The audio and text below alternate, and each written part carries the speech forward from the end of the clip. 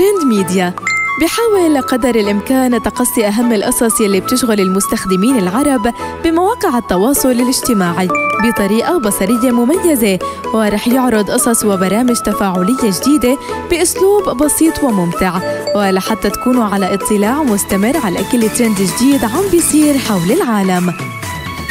تابعوني أنا ولاء كل يوم خميس بفقرة Trend Media الأسبوعية على صفحتنا الرسمية على الفيسبوك صدى FM Syria. البداية رح تكون مع أكبر وأضخم حدث بالإمارات إكسبو دبي 2020 فمن أيام كان لها المعرض حصة كبيرة من تداولات السوريين على ال social media.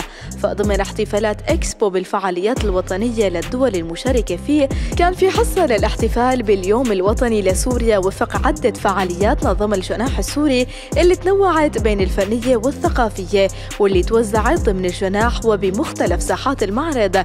واللافت كان شكل الاحتفال ضمن ساحة القبة الأشهر بإكسبو بحيث تلونت القبة بألوان العلم السوري بتق تقنيات ضوئية مبهرة. لتنتقل المشاعر الوطنية من إكسبو 2020 للسوريين بكل أنحاء العالم على الرغم من وجود دول كتير بتمتلك أجنحة متقدمة أكثر. ولكن بيكفي أنه يكون في وجود لسوريا رغم كل الظروف الصعبة بالسنين الماضية. من الإمارات رح ننتقل لجدل كبير وتعاطف أكبر شغل منصات التواصل أردنيا وعربيا.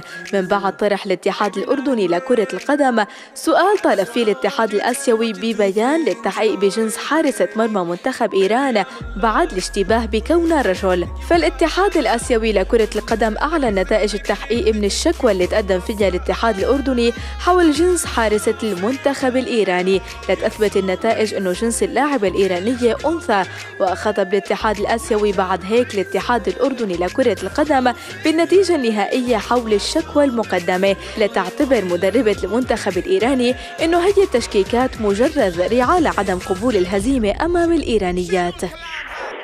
الختام مليان بالحب والأجواء الإيجابية فمن بعد ما شهد حفل المطربة البريطانية الشهيرة أديل من أيام واللي أقيم بلندن اكتمال قصة حب انتهت بالزواج أمام الآلاف من الجماهير. فقبل الحفل بأيام طلب شاب من أديل أنه تساعده على مفاجأة حبيبته بطلب إيدها للزواج منه بحفلة تعبيرا عن مدى حبه إلها.